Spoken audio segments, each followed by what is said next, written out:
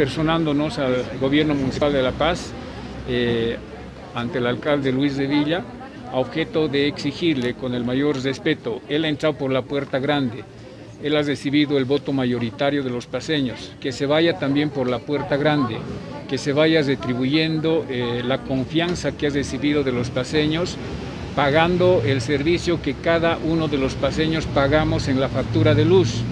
El servicio de la basura no está condicionado a, los impuestos de los paseños ni a las transferencias del nivel central.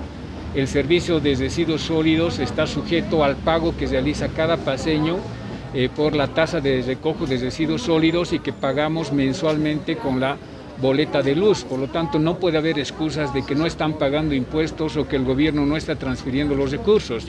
Lo que tiene que hacer el alcalde simplemente es no malversar los fondos de los paseños y pagar a la empresa lo que los paseños estamos pagando por, estos, eh, por este servicio. Por otra parte, el contrato yo he estado de concejal cuando se aprobó ese contrato, no señala la suspensión del servicio por falta de pago de impuestos.